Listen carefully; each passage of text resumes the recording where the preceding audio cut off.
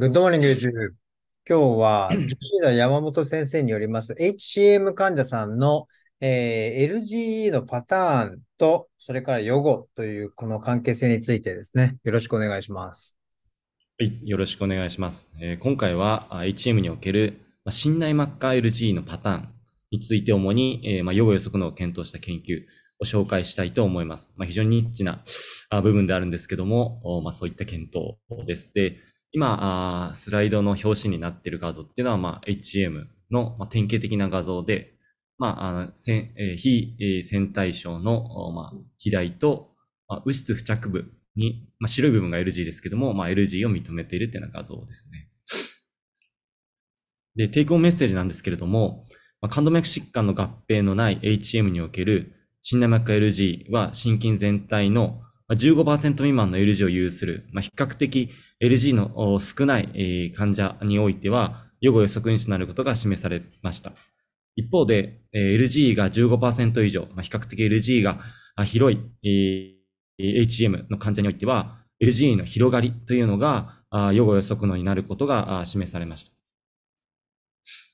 それでは背景に移ります。HM は遺伝性の疾患で、まあ、若年の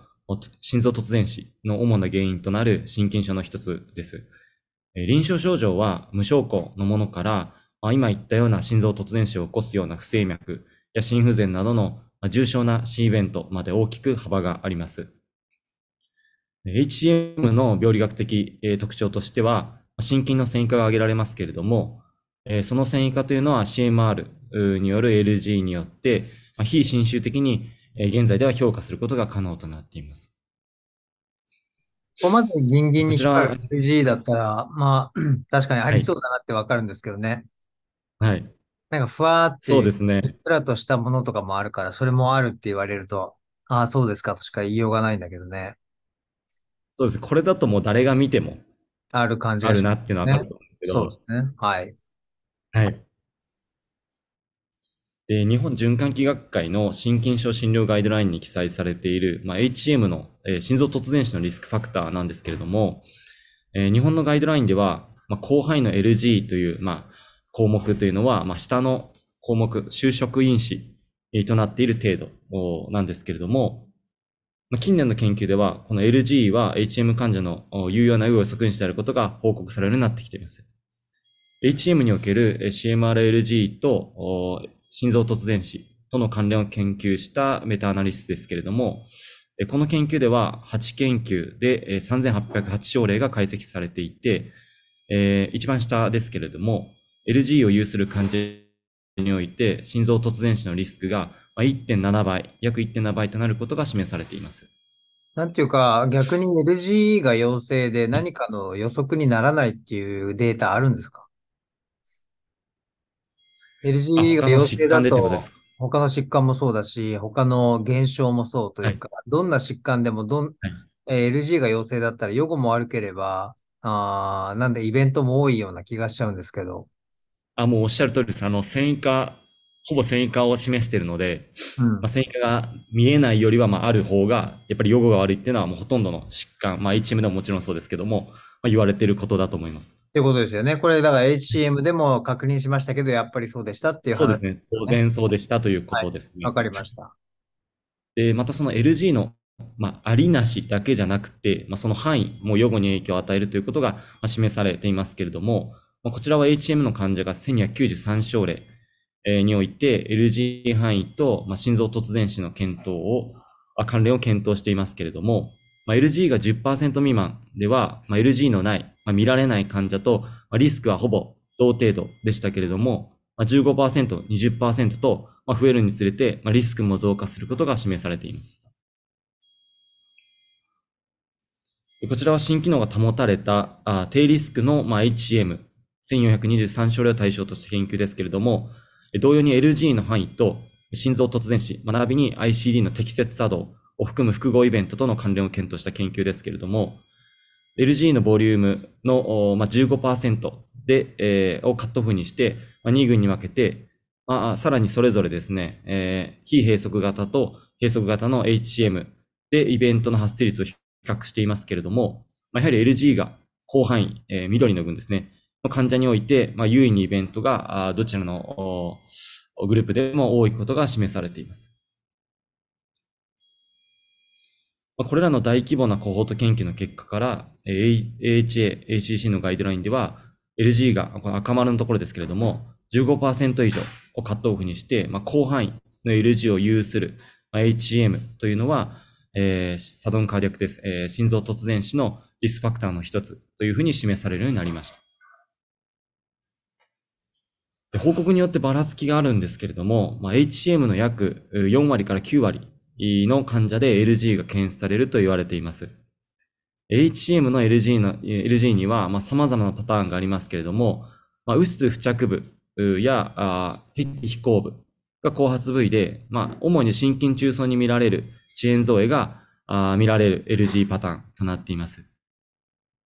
中にはですね、冠動脈疾患を合併しないにもかかわらず、心内膜下の LG を認めることがあります。これは一番右側なんですけども、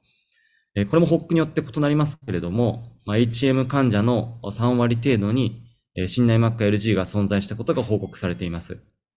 しかしですね、この HM における、えー、心内膜下 LG パターンが予後予測能に関連するかどうかっていうのは評価した研究はまだありません。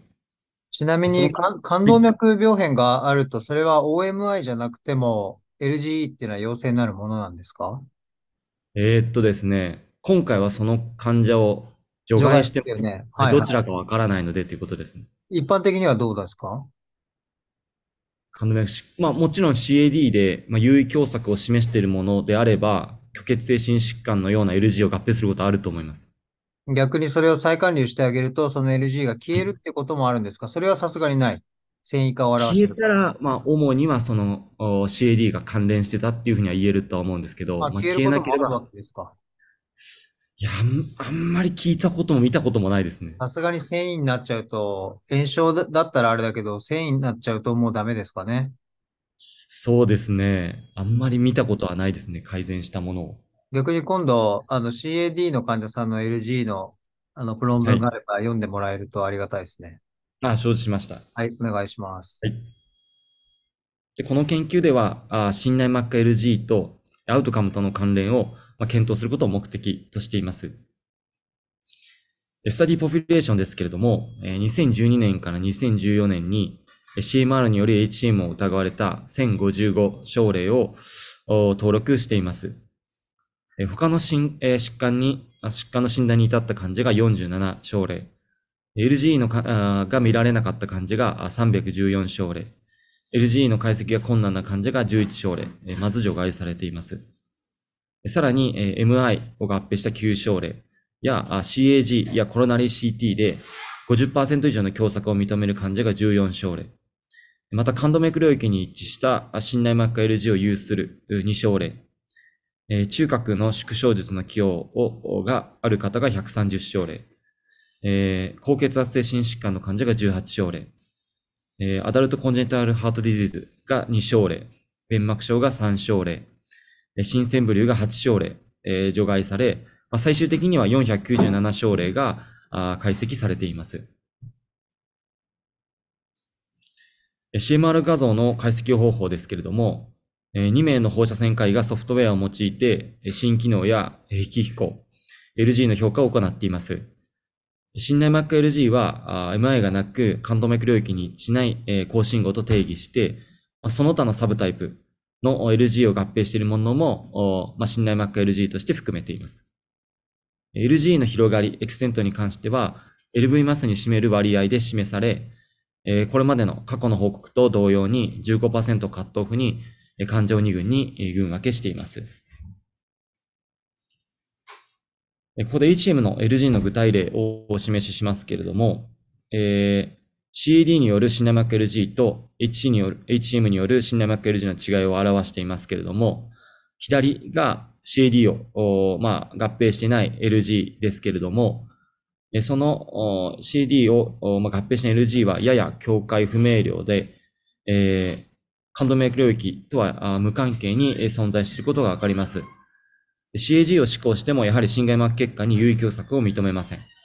まあ、一方で右側の CAD を合併する患者の LG ですけれども、えー、境界が、まあ、LG が明瞭、境界明瞭で、まあ、必ず感動脈領域に一致することが原則です。感動脈造影では、まあ、多くが LG 部に一致した心外膜血管に有意狭窄を示します。フォローアップとエンドポイントについてですけれども、フォローアップ期間は CMR 施行日から最終外来日、またはイベント発症日までを期間とし、エンドポイントは心臓死、心不全入院、心移植、心移植、え脳卒中を含む複合イベントとしています。結果ですけれども、ノンエクステンシブル Z 群では362症例、えー、真ん中ですね、362症例、平均年齢が46歳、え男性が252人、エクステンシブ LG 群、え一番右側の群ですけれども、135症例、平均年齢が45歳、男性が87名の群になっています。両群を比較すると、エクステンシブ LG 群では、NYHA のクラス3から4度の割合が多く、また不整脈では AF、ノンサス VT の有病率が高いことが示されています。また、高血圧の有病率は低く、利尿剤の使用率が高いことが示されています。次に CMR の所見についてですけれども、エクステンシベル Z 群では、壁、えー、壁口が厚く、LV、EDV、ESV は高値、その、それを反映して EF は低値となっています。また、LV、LV マスは高値となっています。で今回の、まあ、検討の対象である心内膜下 LG は、まあ、患者全体では37%に認め、エクステンシブ LG 群で優位に多いことが示されています。こちらは LG の範囲の分布を示したフィギュアですけれども、患者においては LG がまあ0%からまあ10%、まあ、0%で、まあ、ない人は除外されてるんですけども、まあ、1%からまあ10%の割合の患者が最も多いことがわかります。次に LG の部位の分布に関してですけれども、まこの検討では、中核や新鮮部に LG が多く、まあ、一般的な HCM の LG の後発部位に一致していることがわかります。次にこちらは LG の範囲とイベント発生率の関係を表したフィギュアですけれども、中央フォローアップ期間58ヶ月の間に66人の患者にエンドポイントを認めていますけれども、LG の広がりとイベントのハザードレーションとの関連のにはま非線形になり、ま LG が15%未満、この点線の左側ですけれども、では、関連は低いけれども、まあ、15%以上、まあ、右側では LG の広がりが大きくなるとともに、リスクの上昇を認め、エクステント LG 群では、ノンエクステンシブ LG 群と比較して、エンドポイントの年間発生率が有意に高いという結果となりました。これはやっぱりものすごく綺麗ないい線形グラフですよね。はい。ただその15%未満の方では、あんまりその LG の大きさっていうのは、うん、イベントとは関連しなかったっていうことがまあ、過去の報告でも言われてるんですけども、まあ、今回でも同じような。やっぱりそうだったんですね。15%っていうのはやっぱりいいカットオフってことになりますかね。はい。はい。はい、で次にですね、臨床パラメータでの、まあ、イベントの予測に関する単変量解析の結果ですけれども、まあ、この中では、ちょっと見えにくくなっちゃってるんですけど、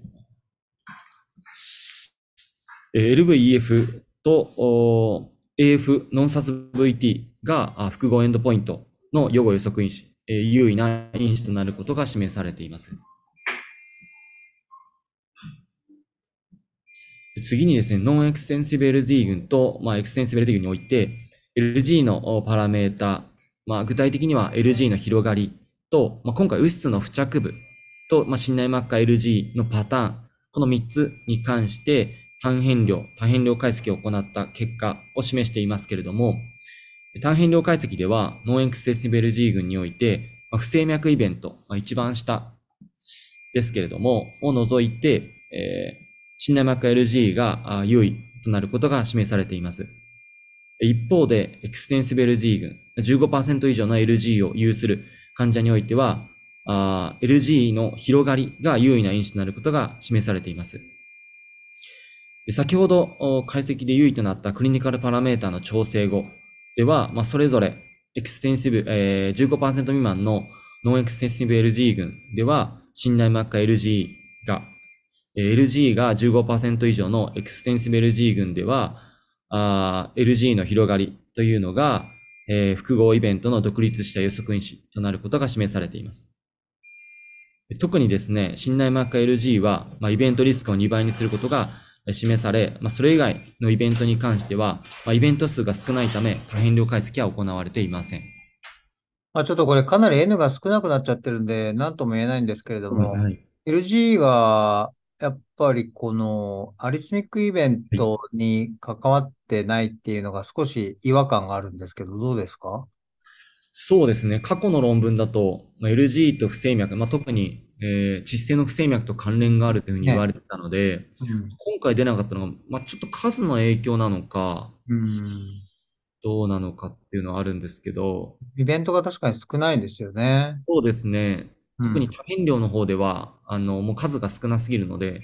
ちょっと解析していないっていうのが、まあ現状ですね。これやっぱりまあそうなるとハートフェイリアがすごく引っ張ってて、それがハードカルディバスキュラーイベントにもコンポジットエンドポイントにもつながってるっていうふうに考えた方がいいですかね。そうですね。一応そのハードイベントは、ハートフェイリアの死亡と、えーえー不整脈死ああ、そう。含まれてるので、一応心不全入院だけでは含まれてないので、ああ、そうですか。なるほど。そうなんです。はい。うんふんふんふんわかりました。はい。次にカプランマイヤー解析の結果ですけれども、まあ、 non-extensive 群、赤の実線と、まあ、緑の点線ですけれども、信内膜下 LG は複合イベント、えー hard endpoint、heart failure の、まあ、さらなるリスク層別化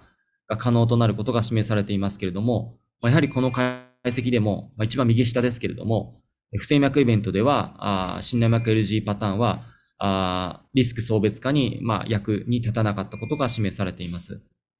一方ですね、エクステンシブ LG 群では、信内膜 LG の有無で、イベント発生率に、まあ、全ての、ま、項目において、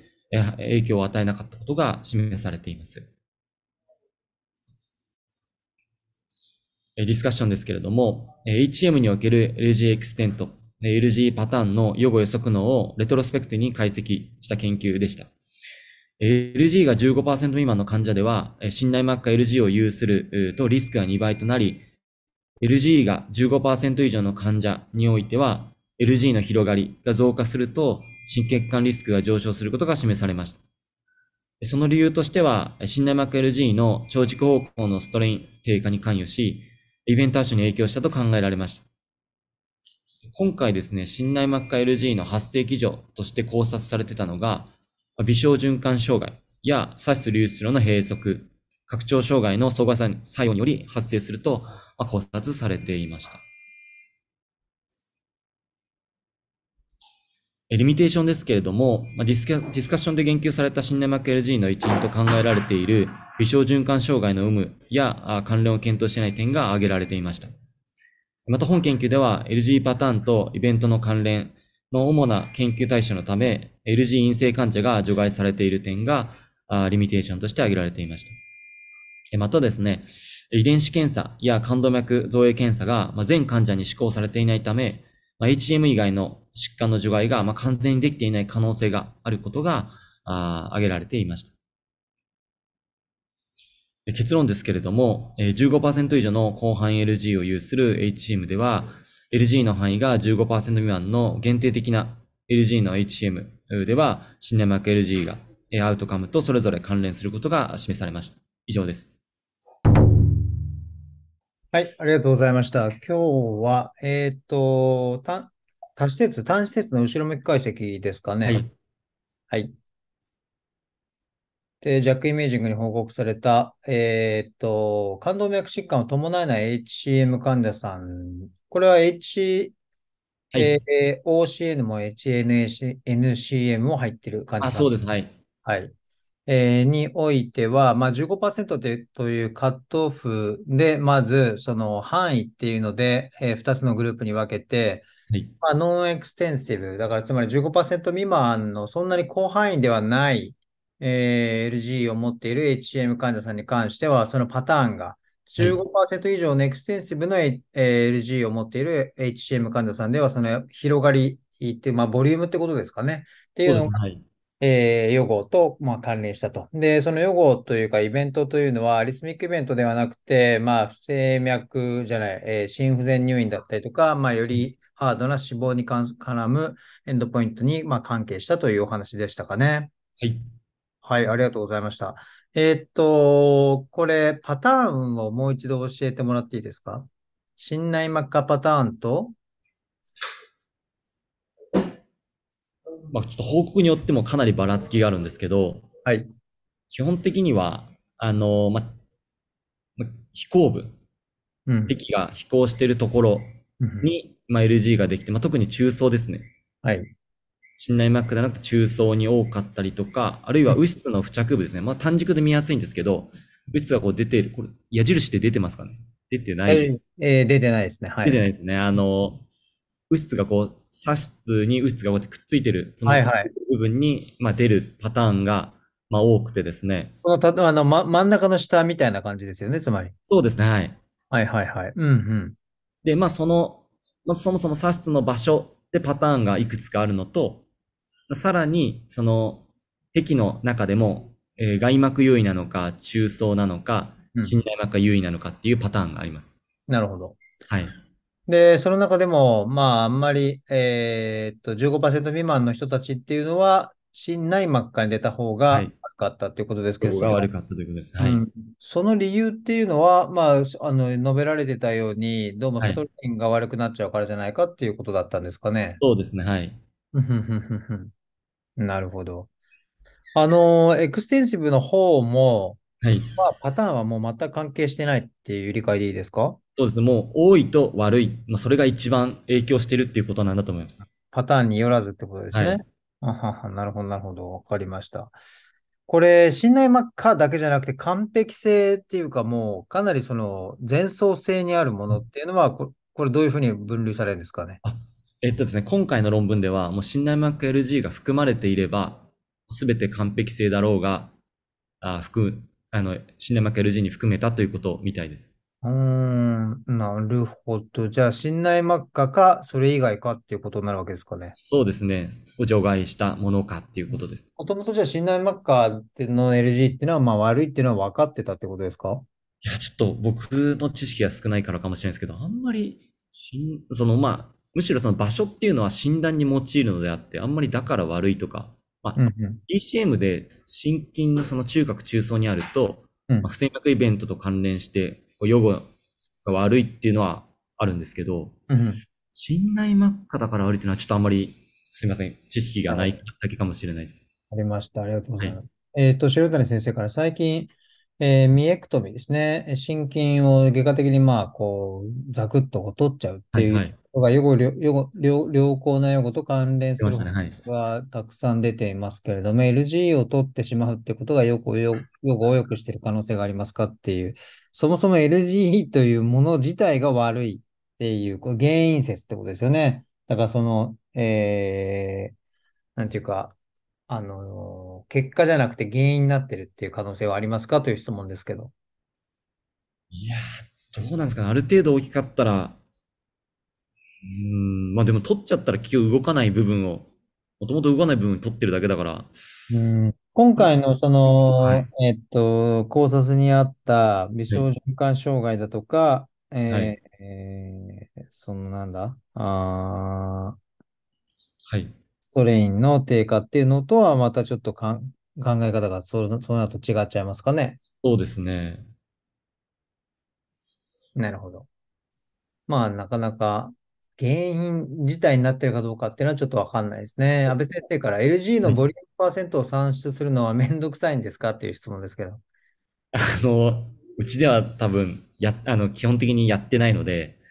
なんかめんどくさいのかなと思ってます。もう出そうと思えば出せます。なんていうか、その、あーどのスライスでっていうのは決まってるんですか？ある意味、その平面での、そのエリアのパーセンテージなのか、それともあくまでボリュームなのかっていうのはどっちですか？えっとですね、そのソフトウェアによると思うんですけど、うん一番簡便な方法だと、あの単軸、えー、三段面、ポンポンポンで、えっと、信号強度でこう、いくつ以上だったら、これ LG と判断してこうやってくれて、あとはそれを間を保管してくれるようなあ機能がソフトウェアについてると、まあ、それだけで出せたりするものもあるみたいです。うん、なるほどね。まあ、なかなかその、こう、全体的に、まあ、まあ、なかなかけ決定的なものはあんまりまあ決まってないってことですかね。そうですね。うん。あとは、そのパターンということで言うとですね、やっぱり先ほども少しお話ししましたけど、こうグリッとしてるですね、なんていうはい。かこう、デンスなやつと、ふわっとしてるものとの、まあ、差っていうのはあるんですか？ちょっと個人的にはあるのかなと思ってて、うん、そのうん。15%未満ってうん本当は LG じゃないっていうのも含まれあてるのかななるほどね。はい、はい。はい、はだからもう本当にえーノンリスクというか、ローリスクの HCM も含まれちゃってるからっい。うん。ていうのもあるのかな。もうグリッドしたのだと誰がどう見ても悪そうじゃないですか。そうですね。はい。そうするとまあやっぱ15%未満超えてきてしまうものが多いのかなと思います。な感じがしますよね。はい。例えば、そのふわっとしてる、こう、淡い感じのものっていうのは、繊維化じゃなくて、あくまでその、その前の前段階の炎症とか浮腫を見ている可能性っていうのもありますか？ああ、もしかしたらあるのかもしれないですね。そういう方だと、えっと、例えば、あー閉塞型だったら、その閉塞を解除してあげたら、まあ、良くなったりとかするのかもしれないですね。閉塞というか、まあ、狭窄ということですかね。狭窄であったり、その、えー、HOCM の圧負荷によってこう起こっているような LG があるとうん。すればということなんですけど、アーツを取ってあげればね、そうではい。すね。炎症が起きてるからってことですよはい。ね。ほんほんほんほんわかりました。えっと、谷先生から、えーこの、こういう研究における、まあ、複合エンドポイントっていうのは一般的ですか？という質問ですね。ああ、なるほど。えーっと、まあ、一般的なものだと思うんですけど、うん。まあ、心臓突然死、心不全入院、心因食。まあ、脳卒中がなんでっていうのはありますけど、HCM と脳卒中って関係あるんでしたっけ？まあ、AF が起これば脳卒中になるあっていうこまあ、とな。のかもしれないですけど、もしかしたらちょっとイベントを増やすために、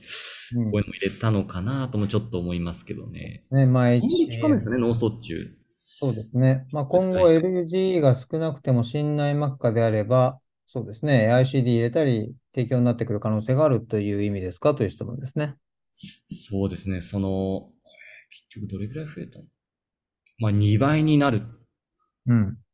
リスクが2倍になる。ただ、まあ、それに関してもアリスミックイベントを増やしてないっていうことを考えると、ちょっね。とそれが直結するかどうかっていうのは難しいではい。すけど、まあ、クローズオブザベーションっていうのは、まあ、とか、まあ、その、強化療法っていうのは、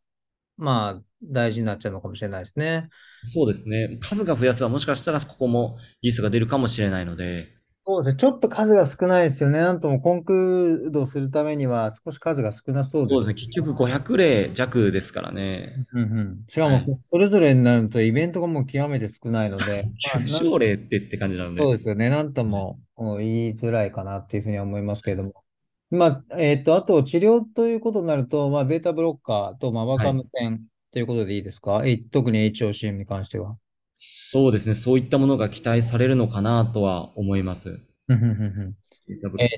と、い。はい。ちなみに ICD のこの、えー適用クラスってどうなります？あ、この患者さんのえっと、一般的な HCM の。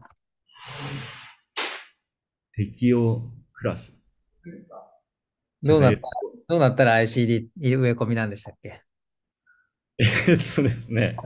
ちょっと画像のことな、なんとも言えるんですけど。なるほどね。わかりました。あの、これはあんまり適当なこと言えないですね。はい。そうなんですよね。はい。はい。ありがとうございちょっとこっちも。違うのかなと思います。はい。えーということで、まあ、あのー我々が、なんというか、いつもふわっとしている、えー LGE のところでしたけれども、あのー少し理解が、あのー僕個人としては深まったかなと思います。あのー確かに、まあ、えっと、山本先生が言うようにですね、15%未満のあんまりない人っていうのは、そもそもそれの LG っていうのが本当に、えー LG なのかというか、病的な意味を持っている LG なのか、それともどうなのかっていうような問題はあるけれども、まあ、15%以上ある人っていうのは、やっぱりまあ、えー範囲が広ければ広いほど、えー悪いかなというようなことが、まあ、少なくとも言えるかなというふうには思います。えーということで、今日もコロナに気をつけていってらっしゃい。